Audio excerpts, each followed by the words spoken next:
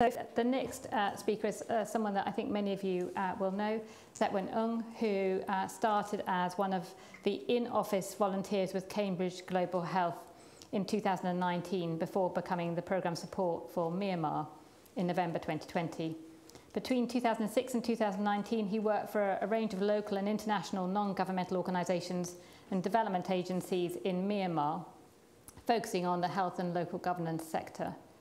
As many of you will be aware, there was a military coup in 2021 and Myanmar has since become one of the most dangerous countries in the world to be a healthcare worker. It's a, a program that's particularly close to my heart because I was invested in a, a program there for, for a number of years and it's an incredibly challenging place for friends and colleagues who are still uh, living and trying to work there. So Thet has been instrumental in enabling CGHP to pivot from being uh, directly there, the health partnership, and, and to continue providing support to healthcare professionals in Myanmar facing these enormous challenges and pressures. He's coordinated the creation of teaching and clinical management uh, videos for colleagues working in the most difficult of circumstances.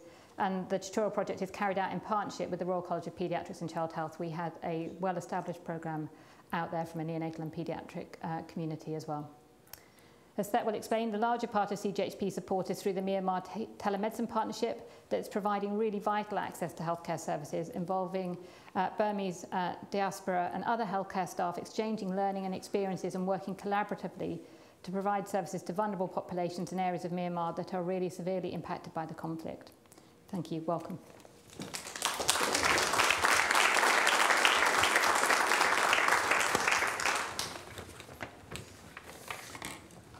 Thank you, Sue. Uh, you have already introduced a lot of things about Burma and telemedicine projects. So, so good evening. And today I'm going to present about the telemedicine project that CGHP has supported since uh, 2021. So uh, the project locations, the project is in, the, in Burma, previously known as Burma, it's now Myanmar. So basically, you see the pictures of the, how beautiful my country. So Myanmar is very beautiful country and, and very rich in natural resources and also ethnically diverse country. But the downside is that uh, we have the longest uh, civil war, war in, the, uh, in, in, in, the world. So, and since uh, independence, 1948, uh, most of the time the country was under the uh, military regime. And, and recently in 2021, 20, 2021 February, there was a military coup and all the uh, reforms, social, political, economic reform initiated by uh, previous elected governments were gone. So after the coup, uh, many people across the country they against and the military military coup and they has taken up arms. So as a result, uh, uh, military junta uh, killed, arrested thousands of people, as well as the healthcare workers, healthcare professionals such as doctors, nurses across the country as well. So due to the uh, coup COVID conflict in 2021, and that all the made my country situation got worse. Uh, in terms of healthcare expenditures, the military junta, they only spent uh, 240 million pounds for uh, 55 million populations in Myanmar compared to uh, British UK uh, health expenditures, the Myanmar health expenditure is kind of the peanut.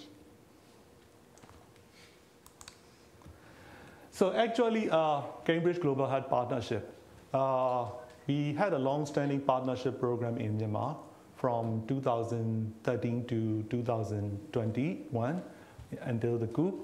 Uh, that project, that partnership program called Cambridge Yangon Trauma Intervention Partnerships, that partnership uh, uh, improved the skills and, and ex expertise and ex skills, experience and knowledge of the doctors, nurses, and healthcare professionals in, in pathology department and ICU department and orthopedic department in, in government hospitals. But unfortunately, after the coup, we stopped the program, and CGHP has changes, uh, changes the approach working with uh, uh, working and supporting healthcare worker in Myanmar. So the telemedicine project uh, that CGHP has supported just started in June 2021 and with the uh, healthcare, uh, small group of healthcare workers uh, who, use, who refused to work under the military administrations. They established a telemedicine project uh, because uh, I think this is at the time the established the telemedicine project was a, a really right time uh, because had uh, hospitals were closed and many uh, healthcare worker was arrested.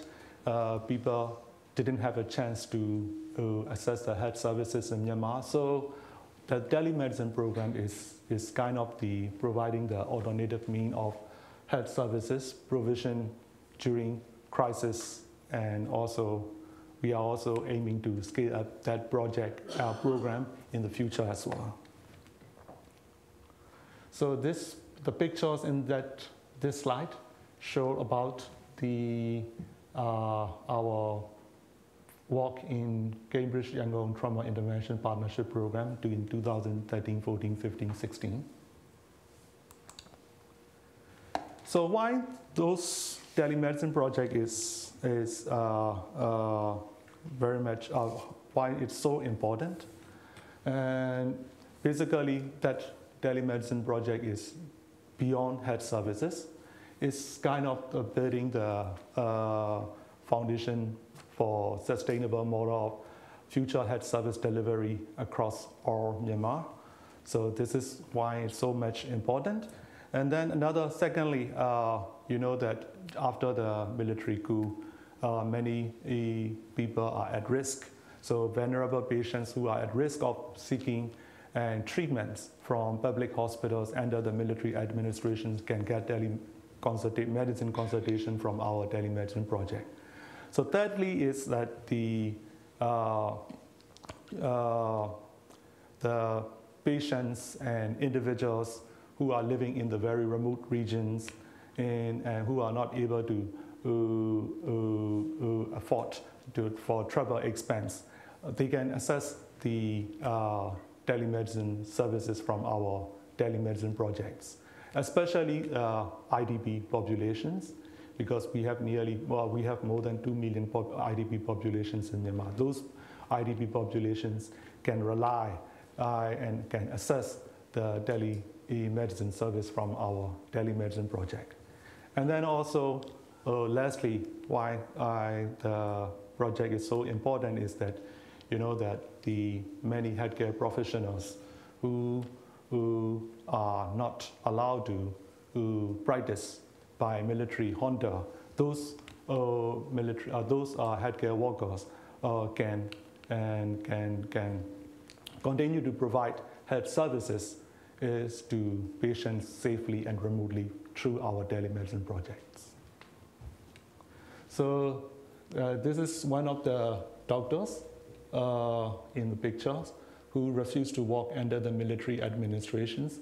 She continued to, to provide uh, telemedicine services through our telemedicine project.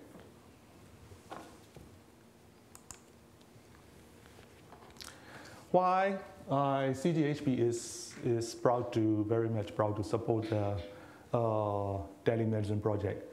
Basically, all the uh, telemedicine team member in Burma, in Myanmar, they are uh, very dedicated and very committed and risking the life to provide uh, the health services.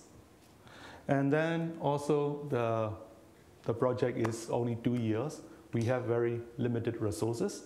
So with limited resources, uh, the telemedicine team, they a, a use innovative approach and create some um, applications and also some platforms uh, applications and platform tailored to the local context to provide the healthcare services uh, to uh, the patients who have different ID knowledge and literacy. And the third, thirdly, uh, is that the, uh, the, the, the telemedicine team member, uh, they feel that they have not been forgotten.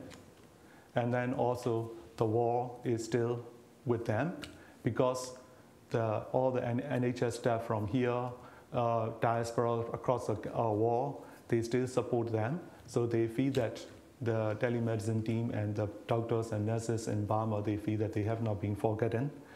And the war is, is together and, and show solidarity with them as well.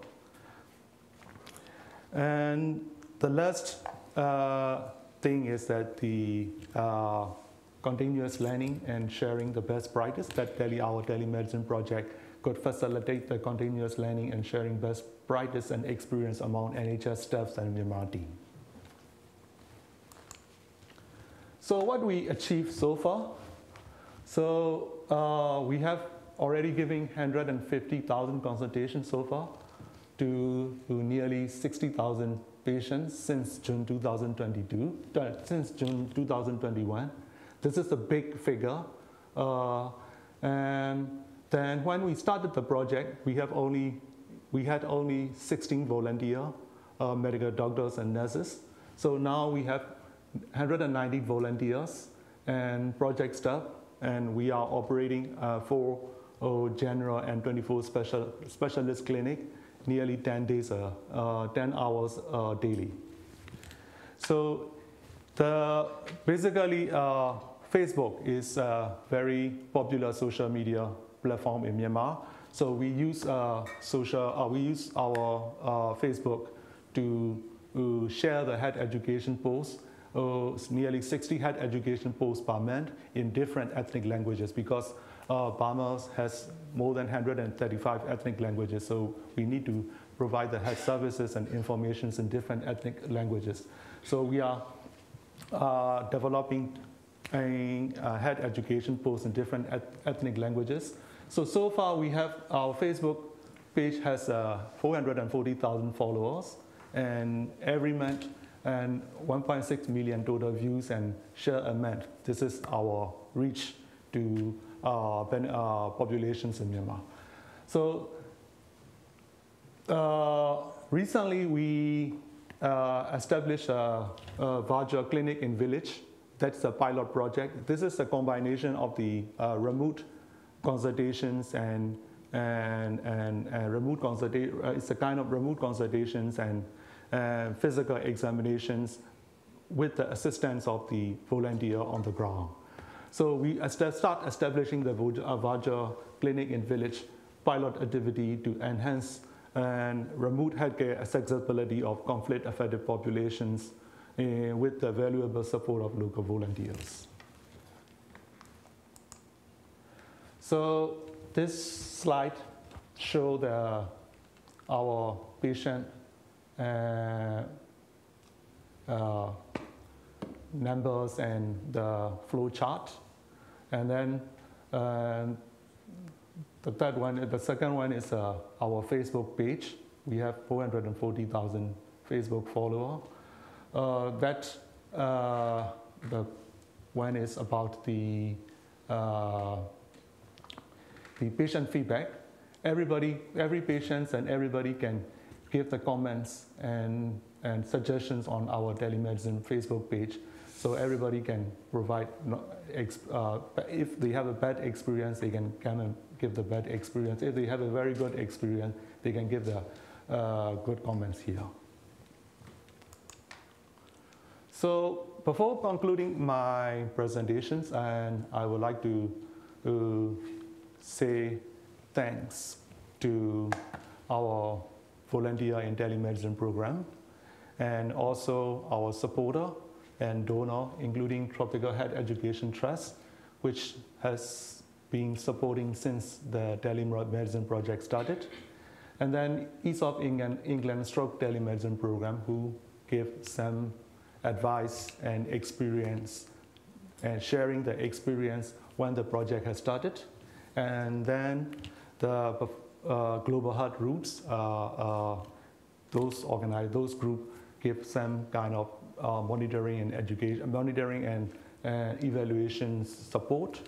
And then lastly, and uh, we would like to, to thank the Royal College of General Practitioners uh, who share the experience of quality assurance uh, practice in telemedicine program. So thank you so much. This is uh, the presentation